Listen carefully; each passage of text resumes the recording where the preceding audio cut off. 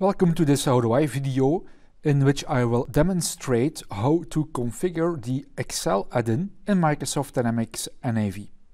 In Dynamics NAV, users can work with data in Excel, get fresh data from Dynamics NAV and update the data in Dynamics NAV based on their work in Excel.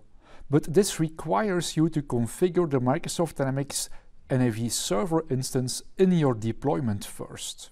We'll get there by going through these steps. In step one, I will discuss the prerequisites. In step two, we will create an application in the Azure Management Portal. In step three, we will grant access to the application. In step four, we will configure OAuth authentication. And in step five, we will configure the NAV service tier. So in the first step, we need to make sure that our deployment meets the following prerequisites. You need to use Azure Active Directory to authenticate users. We need SSL or Secure Sockets Layer for authentication for SOAP and OData web services. And if your deployment is multi-tenant, Dynamics NAV web client must accept host names for tenants. When we meet all of the requirements, you are ready to create an application in the Azure Management Portal. You can go to the portal using this URL.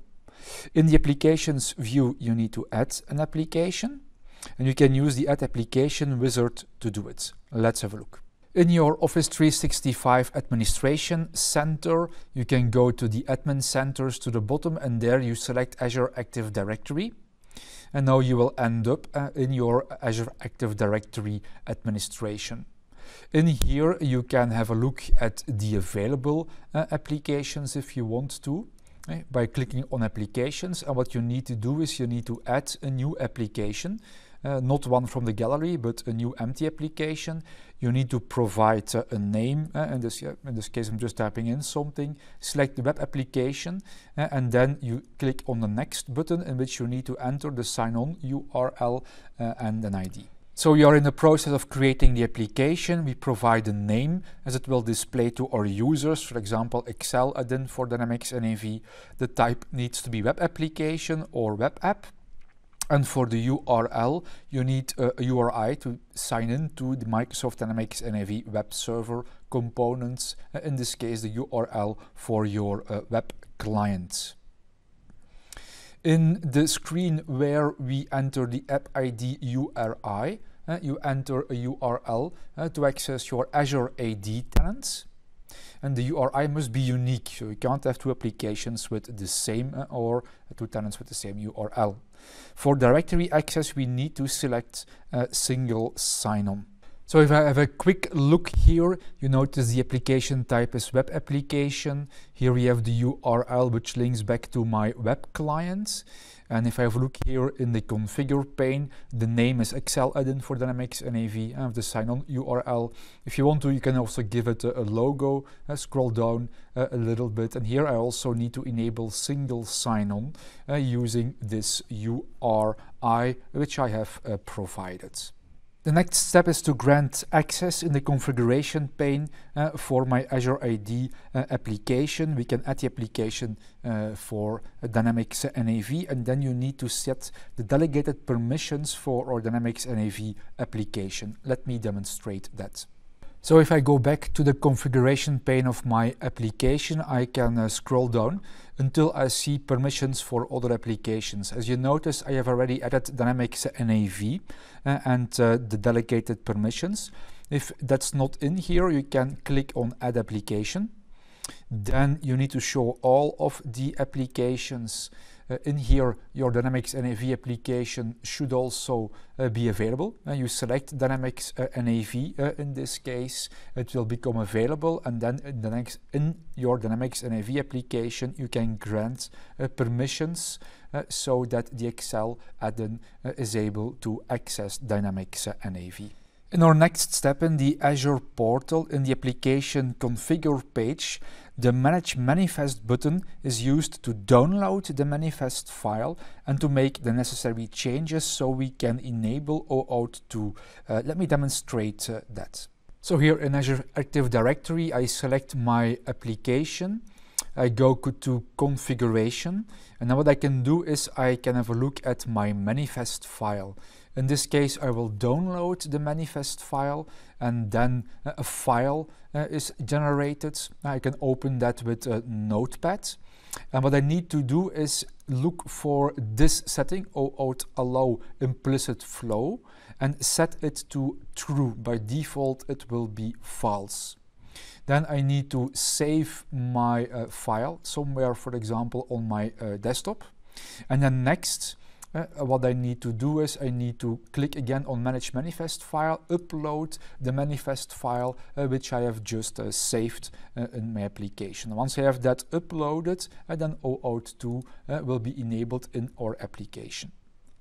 Next, after downloading, modifying and uploading our manifest file, you need to also have a look in your configuration in the reply URL and then set it to this URL. So you can uh, just type it in uh, and this is the reply URL that we need. The next thing to do is to configure our service tier. We can do that using the service tier manager or you can also use a, a PowerShell script. We need to set the Excel add-in AAD client app ID to the client app ID that we got out of the portal. Let me demonstrate how we can do that. So in Azure Active Directory, in the properties of the Excel add-in that we are creating, what I need to do is scroll down a little bit until we notice the client ID. This client ID we need to copy, uh, write it down, remember it. Next, what we need to do is we need to open uh, our service tier configuration uh, or administration tool. Uh, you need to go to the Azure Active Directory uh, pad, uh, open it, uh, open it in edit mode, and here we need to paste uh, this client app ID that we just copied. Once we pasted the ID, you can save the settings, then you can restart the service for it to become active. To test the settings, you can go into the application and look for the assisted setup. Here you can quickly run the setup reporting uh, wizard. Just click on the next button, create a new data set, for example, uh, give it uh, a name, uh, tests. Uh, what we can do is we can uh, use a, a, list page in this case. I will just click on next, use the default settings, publish, and then I will launch Excel. This generates the Excel file. The first time you might need to sign into your account, so you can just use uh, your uh, Azure Active Directory uh, account to connect to NAV.